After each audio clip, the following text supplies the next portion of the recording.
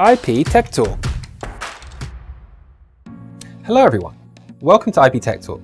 In this video, I will introduce how Huawei Intelligent and Lossless Data Center Network implements lossless transmission of packets on the Ethernet network. Huawei CloudEngine series data center switches build intelligent and lossless networks from two aspects, network optimization and integrated optimization of networks and applications.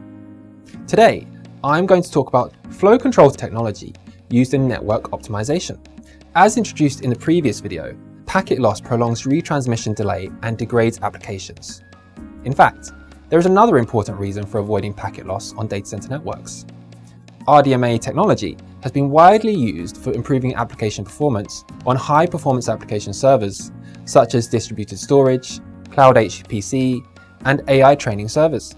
However, RDMA-capable servers are sensitive to packet loss, so data center networks connected to RDMA-capable servers must be lossless. So, what is RDMA? RDMA is short for Remote Direct Memory Access. It allows direct data read and write operations between applications and NICs, improving on traditional TCP IP technology. RDMA reduces the protocol stack delay to as low as about 1 microsecond. In addition, RDMA allows the receiver to directly read data from the memory of the transmitter, which greatly reduces the CPU load. For these reasons, RDMA is very popular in high-performance applications. However, RDMA was initially carried on a lossless InfiniBand network and lacks a comprehensive packet loss prevention mechanism. RDMA packets can be transmitted at full speed on a lossless network. But once packet loss occurs on the network, the end-to-end -end RDMA performance deteriorates sharply. Just a 1% packet loss rate will cause the RDMA throughput to drop to zero. To prevent the RDMA throughput from being affected, the packet loss rate must be less than 1 in 100,000, or even as low as zero. To reduce the dependency on dedicated networks and enable RDMA to be carried on Ethernet network, the Ethernet network must be lossless. However, congestion-triggered packet loss is a typical characteristic of the Ethernet network. So how can we ensure zero packet loss on the Ethernet network? The answer is using flow control. Flow control technology is the IEEE 802.3 defined Ethernet pause mechanism and works like this. When device B cannot receive excess traffic from device A, it proactively sends pause frames to device A and requires device A to suspend traffic transmission and to only continue sending traffic after a period of time. Although flow control based on the Ethernet pause mechanism can prevent packet loss, there is a downside. That is, all traffic on a link is interrupted for a period of time.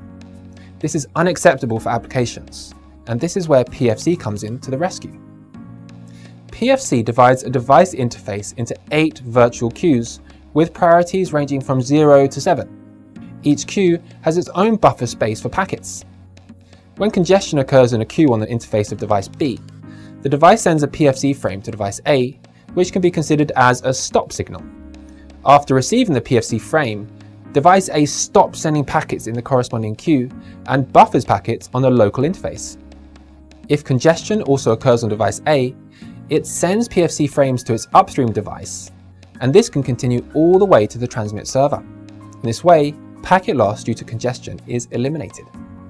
With PFC, instead of interrupting traffic on the entire interface, only traffic of certain queues is suspended. In addition, queues do not affect each other, which allows multiple types of traffic to be simultaneously transmitted over a link. On the intelligent and lossless network, PFC-enabled priority queues are called lossless queues and are used to carry packet loss sensitive service flows. In contrast, PFC-disabled queues are called lossy queues and can be used to carry service flows that are tolerant to packet loss. However, there is a potential risk with PFC, in some scenarios, for example, the server NIC keeps sending PFC frames due to a server NIC fault, causing PFC frames to spread further throughout the network and even leading to a PFC deadlock. A PFC deadlock occurs when multiple devices send PFC frames to each other and wait for each other to release resources after congestion is relieved. This causes traffic to be permanently blocked. Once a PFC deadlock occurs and is not removed in a timely manner, lossless services will be interrupted or in some cases, the entire network will break down. To solve the PFC deadlock, Huawei Intelligent and Lossless Network provides two technologies, PFC deadlock prevention and PFC deadlock detection. First, let's see what PFC deadlock prevention is. In the typical spine leaf networking of data center networks, if a leaf node detects that a service flow comes in and out through interfaces connected to spine nodes, the service flow is considered a high-risk, hook-shaped flow that may cause a PFC deadlock. In this case, Huawei switches will switch the service flow to another queue to change the PFC path to prevent loops caused by PFC frames, thereby avoiding a PFC deadlock. So, what is PFC deadlock detection? Well, PFC deadlock detection is used to detect PFC frames on device interfaces. If a device continuously receives PFC frames throughout a certain period, the device considers that a PFC deadlock may occur and does not respond to the PFC frames for a period of time. If a large number of PFC frames are detected in several consecutive periods, the device considers that a PFC deadlock has occurred. In this case, PFC will be disabled to protect corresponding services. Well, that's all for today's IP Tech Talk. Next time, we'll be talking about how Huawei Intelligent and Lossless Network implements high throughput and low latency. Thank you for watching.